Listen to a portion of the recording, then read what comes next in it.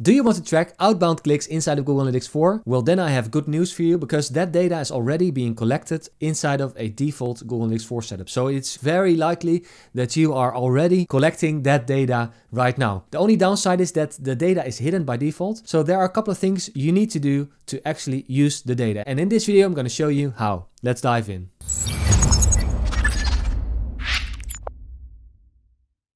Welcome to the channel, my name is Leon. This channel exists to help you use your web stats to grow your website without spending hours in the process. I want to thank everyone that has been liking my videos and has subscribed to the channel recently because that really helps me get these videos out to as many people as I can. As a way to say thank you, I have created a short cheat sheet on how you can grow the traffic that is coming to your website. So whether you have a new domain or you have an existing domain, if you want to grow the traffic that is coming to your website, just head over to the link in the video description to grab that cheat sheet for free. Also, if you like this video and want to watch more, just head over to my profile because in the last year I have created tons of videos on how to set up Google Analytics and how to use the data to grow your website. So today I'm going to show you how you can see the outbound clicks inside of GA4. And the first thing that I want to show you is to check if the data is actually coming through. So let's head over to Google Analytics 4 and I'll show you how. So we're inside of Google Analytics 4. We're going to go under reports. We're going to check engagement and then events to look if the data is already being collected. And what we're looking for is this event. So the event that's called click. The name is a little bit confusing, but this event tracks the outbound clicks. So all the clicks that are going from your site to a different domain. If this is not there, there could be a couple of things happening. Either you don't have links that go to external domains. If that's the case, then you won't track them either. But if you do have links to different domains and you do not see it in the table, just head over to admin and go into your data stream and by the way, this screen changes all the time, but right now it is under data collection and modification. And then you go into data streams and then just open up your data stream and see here if under this little icon here, just check if outbound clicks measurement is checked on because that's really important. If this is switched off by somebody in your organization, it will not work either. All right, now that we've verified that the data is being collected, we need to make a report around it to make this data visible. There are two ways to go about this. You can make a regular report and you can make an exploration report. And in this video, I'm going to show you both ways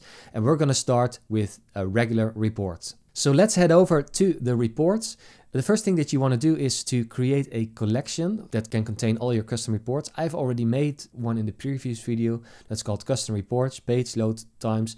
I will put a link in the video description to that video so you can see how I made that. For this video, I'm just gonna work from that. So I'm gonna use this custom report existing collection. I'm gonna edit it and just add a new topic to this. So I'm gonna say outbound clicks and I'm gonna hit apply. And for now, I'm gonna leave it empty because I still need to create a report. I'm gonna hit save and I'm gonna save the changes to the current report. So now I'm going to go back into the library and under reports, I want to create a new report and I want to create a detail report. Let's use a blank report. So the settings that I'm going to use in this report are actually really simple. Under dimensions, I want to add a couple of dimensions. I want to add the link URL, there it is.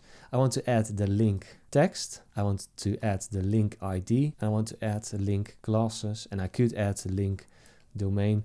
These are all not super important. The top two, that's really what it is about. I'm just going to hit apply. And as a metrics, I want to add the amount of events. So event count is what it's called.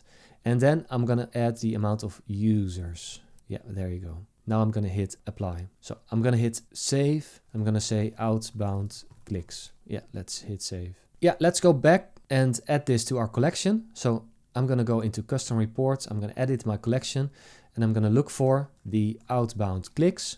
I'm going to add that to my topic here. I'm going to hit save and I'm going to save it to the current collection. If I'm going back now, I will see that in my left-hand column, there is a new topic that's called outbound clicks. I can open up that report here and I will see events coming in. The only thing that you need to do here, you need to filter down this report to just the clicks. And this will show you all the outbound clicks that are happening on your site. All right, as you can see, this report is a little bit polluted. There's a blank row at the top of all the events that do not have a link URL, but then you have also a lot of other events on my site. I have, for instance, the uh, some other clicks, so like button clicks and header and footer clicks that I've set up like custom, but you would also have a, a file download event that also has the link URL. So you always need to filter down this report to include just the click event. And even then I see some other like internal links in this report that do not have links. So this is kind of polluted. There are kind of two solutions to this problem. The first solution, I will put a link in the video description, is to use a custom metric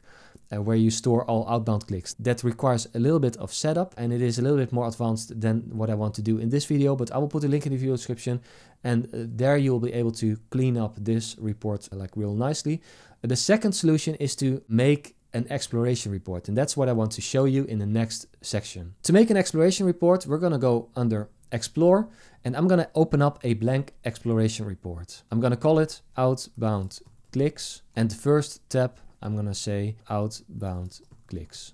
Under dimensions, I'm gonna choose the event name and I'm gonna look for link because under link you have a couple of dimensions to choose from. I want the link URL, the link text. We could add the others as well, but they aren't really so relevant. So I'm gonna leave them out for now to keep it simple. I'm gonna import this and under metrics, I want to use the event count and I want to import the active users. So this is just the total amount of users. And then I'm gonna hit import. So one thing that I like to do, it's a little bit of a shortcut.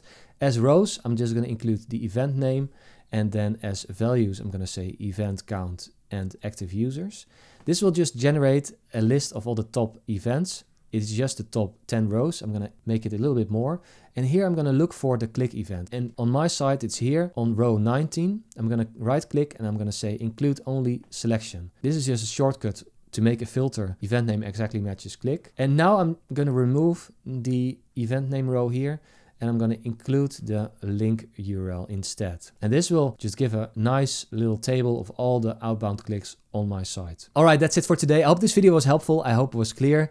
If you have any questions, please leave them down in the comments below. Also, if you want to watch more videos just like this, just head over to my profile. I've created tons of videos over the past year on how to set up Google Analytics and how to use it in order to grow your website. All right, I hope you have a great day and I'll see you in the next video. Goodbye.